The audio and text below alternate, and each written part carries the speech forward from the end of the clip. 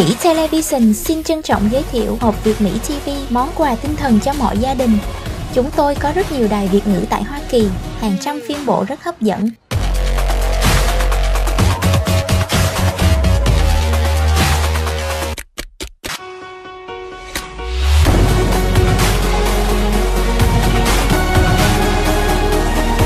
Có trên 200 đài quốc tế, đặc biệt, hình ảnh rõ nét nhất, tốc độ chạy nhanh nhất, chất lượng ổn định nhất, quý vị sẽ được bảo hành lên đến 12 tháng. Chúng tôi sẽ phục vụ khách hàng tận tâm. Xin liên lạc 855 873 6327 855 873 6327 Và kế đến uh, chúng tôi rất là vui mừng, hân hạnh được đón chào nhạc sĩ Cao Minh Hưng. Kính thưa quý vị, anh nhạc sĩ Cao Minh Hưng rất là có thâm tình với tất cả những sinh hoạt của cộng đồng. Chương trình nào cũng có uh, câu lạc bộ tình nghệ sĩ đóng góp rất là nhiều cho các tiết mục. Và hôm nay tôi xin giới thiệu đến tất cả quý vị anh Cao Minh Hưng. Xin anh uh, gửi đôi lời đến tất cả quý khán giả trong ngày hôm nay. Trước hết cảm ơn anh xin uh, trân trọng kính chào quý vị khán giả của đài Việt Mỹ Television đang coi trên Facebook như là trên mạng. À, thay mặt các anh chị em trong câu lạc bộ tình nghệ sĩ cũng uh, chúc mừng anh David Võ và các anh chị trong ban điều hành của Việt Mỹ Magazine là Television với ngày khai trương chương trình Good Morning Little Saigon. Thì chúng ta đã có những chương trình là Good Morning America. Thì hy vọng chương trình Good Morning Little Saigon cũng là một cái tiếng nói, một chương trình rất là hữu ích cho cộng đồng chúng ta trong những ngày tháng sắp tới. Và hy vọng là quý vị theo theo dõi chương trình ngày hôm nay sẽ tiếp tục uh, mời gọi bạn bè vào những trang website cũng như là những trang Facebook để tiếp tục theo dõi chương trình này. Thì à, với một cái kỹ thuật uh, internet hiện nay thì uh, với cái thông tin như vậy thì hy vọng là những thông tin tức sinh hoạt của câu lạc bộ nghệ sĩ cũng như là của đài Việt Mỹ Television sẽ được mở rộng thêm. À, thưa quý vị à, trong hơn 7 năm vừa qua câu lạc bộ tình nghệ sĩ với sự dìu dắt của cố nhạc sĩ Anh Ban, ông cũng là một trong những đồng sáng lập viên à, với ý tưởng là đoàn kết các chị em văn nghệ sĩ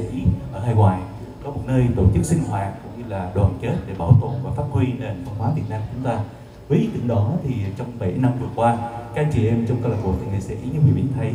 à, bỏ rất là nhiều công sức tập giờ và những chương trình sinh hoạt. Các chị luôn luôn hỗ trợ trong những công tác và đặc biệt là yểm trợ những sinh hoạt đấu tranh cho quê hương Việt Nam chúng ta. Bất cứ nơi nào có những cuộc đấu tranh xuống đường à, những tiếng hát của các anh chị em luôn luôn hướng ngọn lửa chuyển ngọn lửa về cho quê hương Việt Nam chúng ta. Đó là một điều có thể nói các bên ngồi đây nhưng đằng sau các anh chị em lúc nào có sự hỗ trợ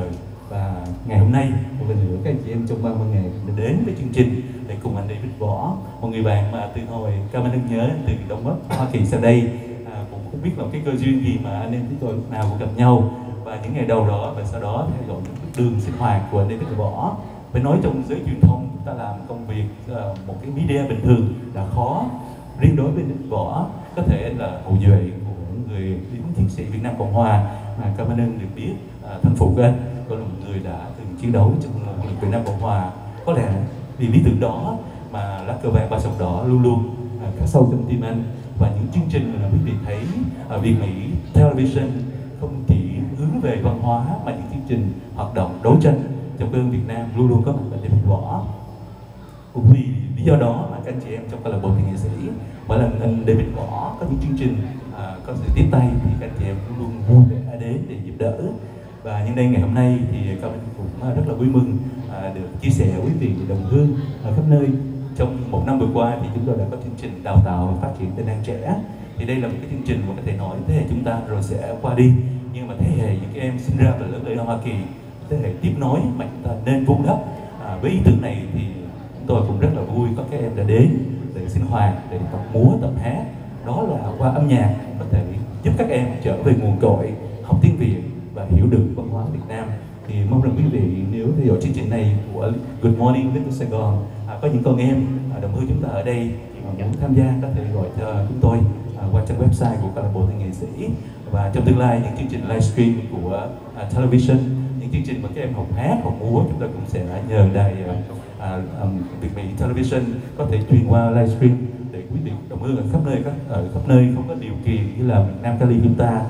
các em có thể ngồi trước cái màn ảnh để học. Những người thầy của tôi là những người uh, chuyên nghiệp từ nhạc viện của Sài Gòn. Uh, những cái bài giảng bài học thì các em không có điều kiện đến lớp học ở miền Nam Cali cũng có thể qua hệ thống internet học được những điều này. Thì đó là những điều chúng tôi muốn chia sẻ trong chương trình ngày hôm nay. rất cảm ơn anh Cao Minh Hưng.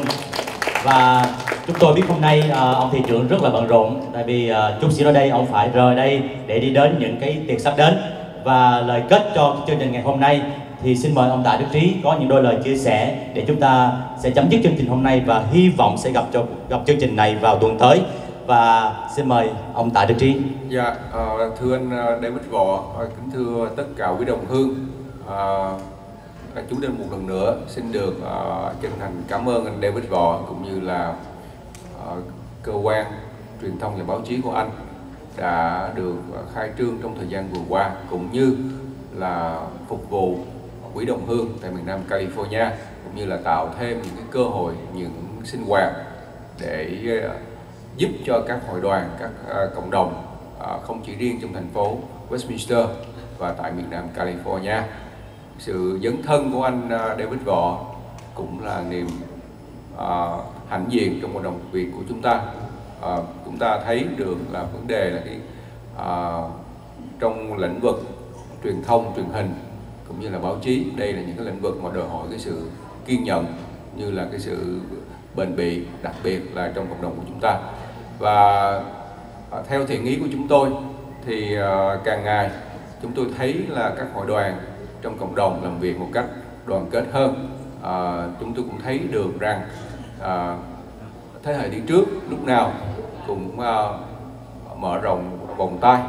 để chia sẻ những kinh nghiệm cần thiết cho thế hệ về sau. Và thế hệ về sau uh, có được cái sự thông cảm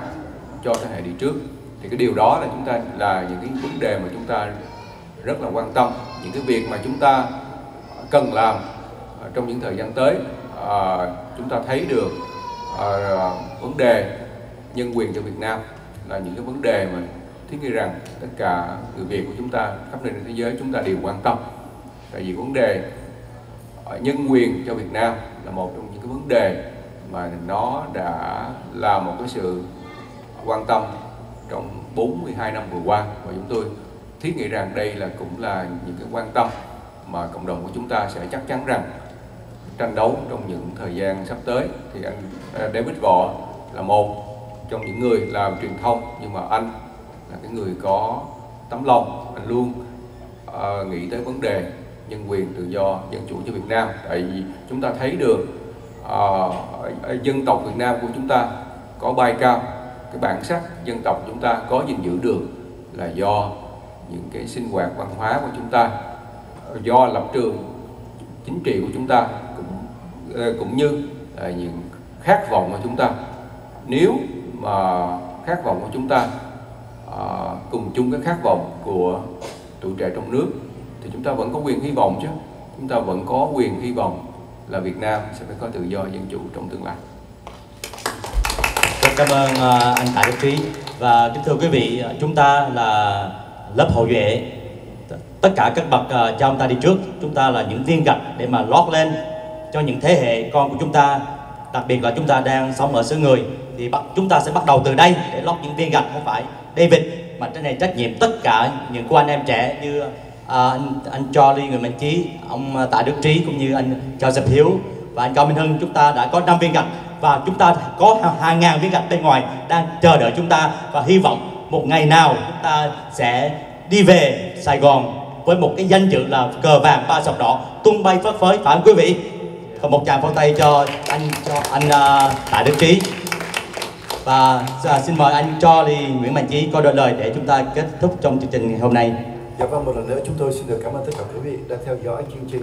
và cảm ơn uh, và chúc mừng đến à, anh Đinh Võ cũng như là Việt Mỹ Magazine và Entertainment. À, chúng tôi nghĩ rằng đây là một cái chương trình rất là quý cho không chỉ là cho những người ở tại uh, ngay tại uh, thành phố Westminster cũng như là Little Sài Gòn ở đây nhưng mà nó rất là hữu ích cho tất cả mọi người uh, khắp nơi chúng ta có một cái chương trình Ờ, buổi sáng nói về tin tức nói về những cái sinh hoạt của uh, miền Nam California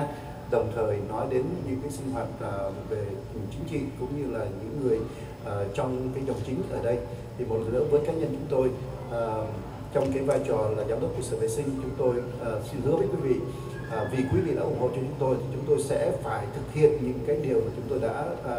hứa với quý vị cũng như là chúng tôi đã cố gắng hết mình sẽ cố gắng hết mình để chu toàn cái trách nhiệm mà quý vị đã chào và lần nữa xin cảm ơn tất cả quý vị và xin chúc mừng uh, Việt Mỹ Magazine và anh Lê Quốc Cảm ơn anh Charlie Nguyễn Mạnh Chí và xin anh uh, cho dịp Hiếu có đôi lời với quý khán giả trong ngày hôm nay với chương trình Good Morning Lido Sài Gòn. Good morning Little Saigon. Hey. À, Joseph Hiếu có làm cái phim Good Morning Việt Nam với Robin Williams. Hồi đó đóng cái vai nói được có một câu thôi. À, wow. khi mà David nói Good Morning Little Saigon là Hiếu tới liền. À, xin chân thành cảm ơn Việt Mỹ Magazine and Television và chúc mừng cho David Võ là David Võ đã đi đúng con đường bây giờ là thế giới của media, của news và những gì chúng ta record ngày hôm nay sẽ go all over the world toàn thế giới thành ra tiếng nói của chúng ta càng ngày càng mạnh hơn và cá nhân Sơn Thiếu mong rằng có đủ khả năng hơn để làm những phim nói lại lịch sử anh hùng của Việt Nam từ ngày xưa cho đến đời Việt Nam Cộng Hòa để đưa lên những hình ảnh sống động thật thương tâm của Việt Nam chúng ta. Xin cảm ơn quý vị. À, thay mặt à, à, Phòng sản báo Việt Mỹ cũng như Việt Mỹ Media rất là cảm ơn anh Châu Joseph Hiếu đã có một cái tinh thần rất là cao, à, tinh thần của người Việt quốc gia hải ngoại và chúc anh luôn luôn thành công với những công việc anh sẽ làm trong tương lai. Và kế đến chúng tôi xin mời anh Cao Minh Hưng uh, có đôi lời đến quý khán giả trong ngày hôm nay với chương trình Good Morning Leaders Sài Gòn. Một lần nữa thì à, Cao Minh Hưng xin à, cảm ơn David Võ à, cũng đã cho cái cơ hội ngày hôm nay ngồi đến đây cùng với thị trưởng anh Tạ Đức Trí, anh Charlie mình à, cho Sông Hiếu à, cũng như tất cả các chị em trong à, câu lạc bộ nghệ sĩ đến với chương trình mong rằng chương trình luôn luôn thành công cũng như là kính chúc bên luôn luôn được sức khỏe để tiếp công việc phục vụ cộng đồng của chúng ta. Việt Mỹ Television xin trân trọng giới thiệu hộp Việt Mỹ TV món quà tinh thần cho mọi gia đình. Chúng tôi có rất nhiều đài Việt ngữ tại Hoa Kỳ, hàng trăm phiên bộ rất hấp dẫn.